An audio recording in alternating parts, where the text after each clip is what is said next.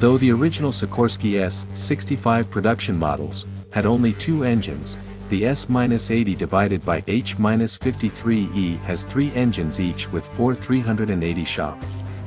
It is the most powerful helicopter ever built outside Russia.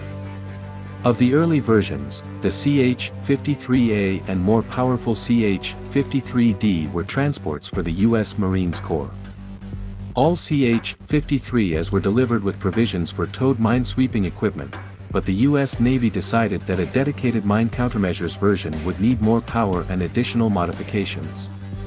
Accordingly, 15 CH-53As were transferred to the U.S. Navy as RH-53A minesweeping machines with three 925 horsepower T-64 GE 413 turboshafts, and equipment for towing the EDO Mk-105 hydrofoil anti-mine sled.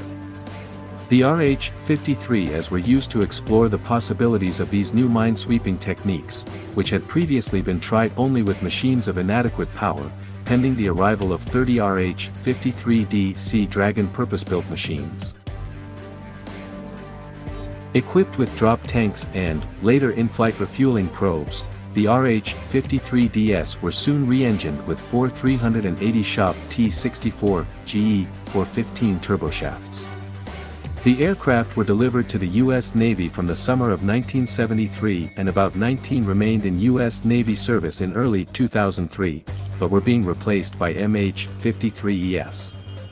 Six RH-53DS were delivered to the Imperial Iranian Navy. The CH-53E was developed to meet a 1973 demand for an upgraded heavy-lift transport for the U.S. Navy and U.S. Marine Corps. From it was developed the MH-53E Sea Dragon.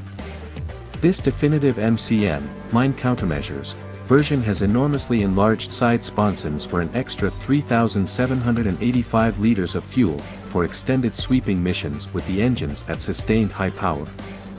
The first prototype MH-53E made its initial flight on December 23, 1981 and around 44 remained in service in 2003.